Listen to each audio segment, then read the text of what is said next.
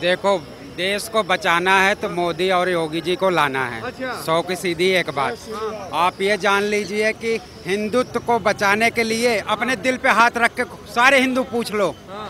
कौन बचा सकता है? यदि अभी लाठी पड़ने पड़े राम मंदिर पे अभी आप जाओ हाँ। और बाद में इनकी सरकार बन गई हाँ। और बाद में ये लाठी मारने लगे कौन बचाने आ जाएगा? मुझे ये बता दीजिए आप। कोई आ जाएगा? नहीं आएगा। रीज़न क्या है कि इनको टोटल क्या दिखता है? सिर्फ़ ओट लेना है टोपी पहनना है।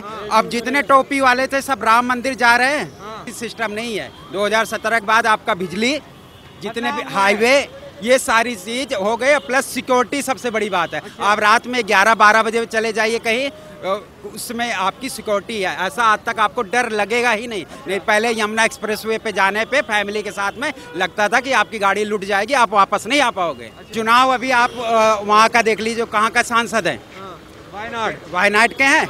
वहाँ पे क्या उन्होंने अपने पत्र, में लिखवाया था? कि साला जितने भी मुस्लिम हैं सबको स्कूल में फ्री और बच्चों का स्कॉलरशिप हर घर में लैपटॉप हर घर में गाड़ी हम देंगे। यही चीज़ तो आप हिंदू को भी बोल सकते थे ना? अपने पर्चे में ये क्या लिखाने की ज़रूरत थी कि मैं आपको बिजली फ्री कर दूँगा मुसलमानों का ये फ्री कर दूँगा वो फ्री कर दूँगा? चुनाव आ चुका है उत्तर प्रदेश में। किसकी सरकार देख रहे हो इस बार? सरकार तो बाबा की ही रहेगा। बाबा की सरकार रहेगी। रहे कोई नहीं काट सकता। अखिलेश भैया जी तो कह रहे हैं कि बाबा जी को नहीं रहने देने के इस बार। अखिलेश भैया कहते हैं वो क्या नाम है उसका वो चाचा उसका वो जिन्ना है। हाँ। एक आज सलमान खुर्शीद निकला है नया जिन्ना बोल रही है वो भी। हाँ। इन लोगों को सबसे पहले सलमान खुर्शीद को उठाओ इसको जेल में जेल में डालो इसको देश से बाहर ही कर दो पहले। जो ही हाँ जो आज बोला है। हाँ।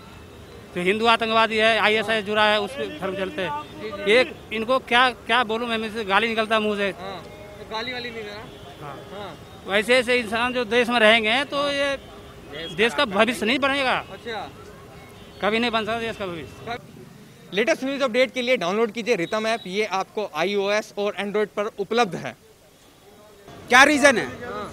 रीज़न ये है कि क्या कहते हैं उनको पहले ये लगता था कि यहाँ से यादव उठा लेंगे यहाँ से ये उठा लेंगे यहाँ से मुस्लिम उठा लेंगे सरकार मेरी बन गई। 2014 जब मोदी जी आए हैं तब से उससे पहले से आप बताइए क्या कहते कौन हिंदुत्व के लिए आवाज़ उठाता था? अखिलेश यादव जी कह रहे हैं राम मंदिर बनाएँगे बीजेपी से अच्छे वाला। ठीक है राम मंदिर बनाएँगे? जब वहाँ पे कोर्ट में बातचीत चल रही थी रामायण इसके राम मंदिर के लिए कौन कौन विपक्ष में खड़ा था कौन पक्ष में? ये खुद ही आप जान सकते हो। पक्ष में कौन था? सिर्फ़ क्या कहते बीजेपी के अलावा कोई नहीं था। चाहे यादव इसकी बात कर ले मुलायम यादव की ये तो गोली चला ही चुके हैं।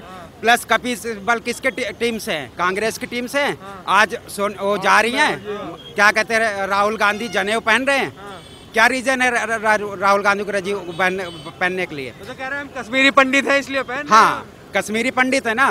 जब भी क्या कहते हैं चुनाव मेरे कहने का मतलब पक्ष लेके चलना तो दोनों तराजू बराबर लेके चलो। हाँ। सब बराबर देश है। आप मान के लिए क्या कहते हैं सौ लोग हैं। कहीं पे ऑल इंडिया की बात कर लो। जहाँ पे सत्तर मुस्लिम है तीस हुआ। बीजेपी दोनों पक्ष को साथ लेके चल रही है? हाँ आरोप तो लगते हैं? दोनों साथ चल रहे हैं। आप आप ऑनलाइन डेटा निकाल लीजिए मैं अपने मैनुअली नहीं बता रहा हूँ। ऑनलाइन डेटा निकाल लीजिए। हाँ। जो भी एक करोड़ या दो करोड़ चीज़ें राशन प्रोवाइड हो रही हैं कौन से मुस्लिम को रोक दिया जा रहा है? भैया ओए तुम बताइए लेने। दिया जा रहा है उनको। पहले घर जो समाजवादी पार्टी में कहती मुस्लिम मेरे पार्टी के हैं तब कितने उनके घर बने थे और आज योगी जी ने कितना घर दिया है ये देख आप अंतर कर लीजिए दोनों का। आपको ऑटोमेटिक चीज़ें पता चल जाएँगी। चाहे वो राशन हो चाहे आपका क्या कहते हैं पढ़ाई में हो पहले क्या होता था पढ़ाई में क्या पढ़ाया जाता था कि ये पढ़ाया जाता था कि भाई आपको बड़ा होके ये चीज़ करना है ये गलत काम करना है। आज वही जो मदरसे वाले बच्चे हैं आज इंग्लिश मीडियम में जा रहे हैं। किसका रीजन से? योगी जी के रीजन से जा रहे हैं।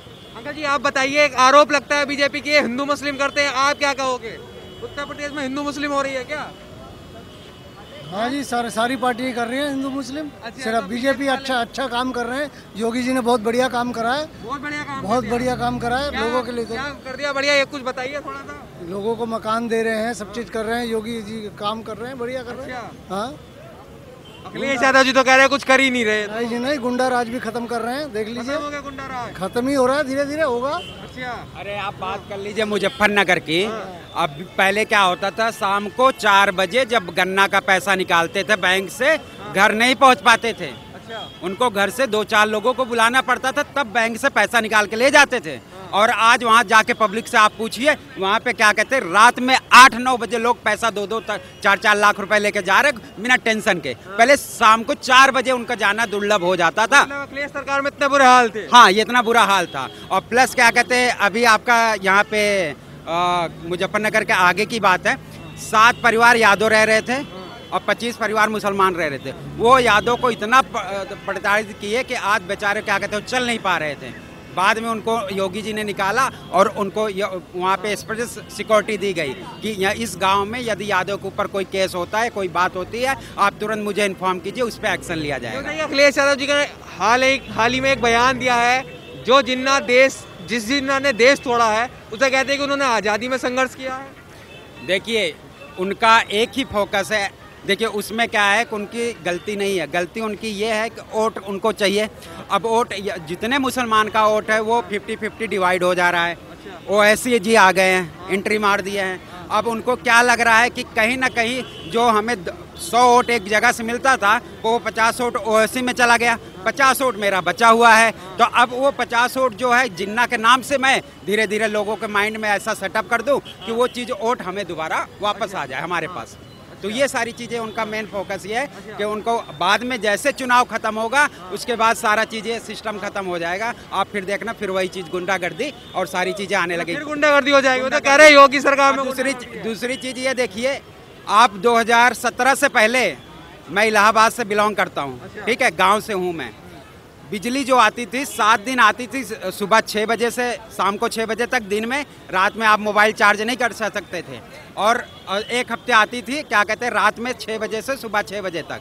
तो अब भी क्या है 2017 के बाद में 18 घंटे लाइट आ रही है आप कुछ भी अपना बच्चों को पढ़ाना है कुछ भी करना है किसानों की बात कर लीजिए उनका जो भी ट्यूबवेल है वो चल रहा है वो पहले क्या होता था रात में नंबर लगाना होता था कि आज मेरा ट्यूबवेल चलेगा लाइट धीमी है कल तुम्हारा चलेगा।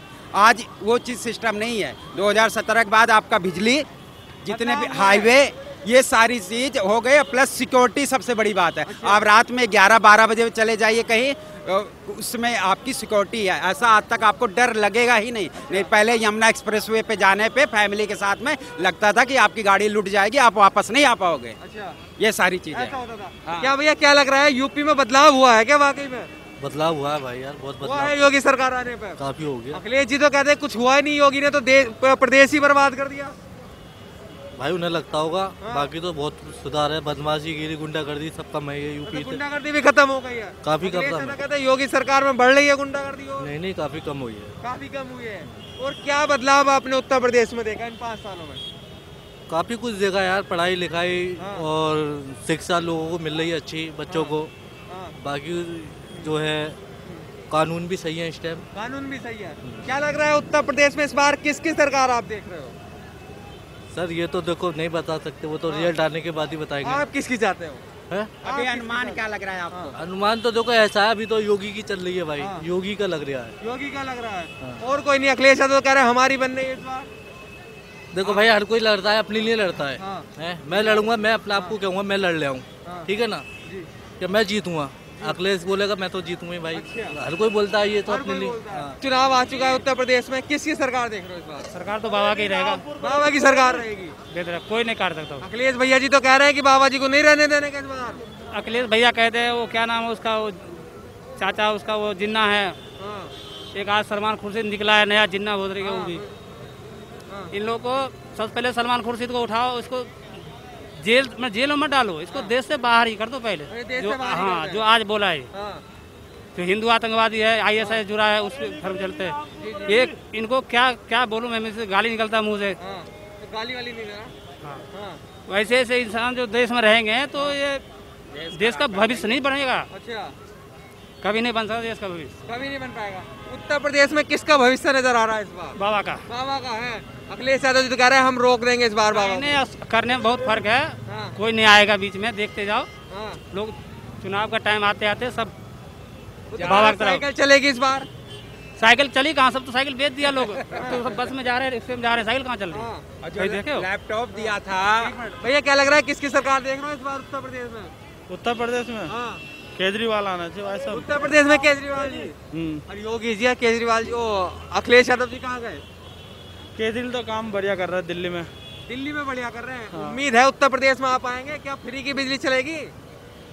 उत्तर प्रदेश में तो अखिलेश का आ जाएगा तो सही रहेगा। अखिलेश यादव जी आ जाएँगे सही रहेंगे। हाँ। क्यों कोई काम पसंद आया उनके क्या?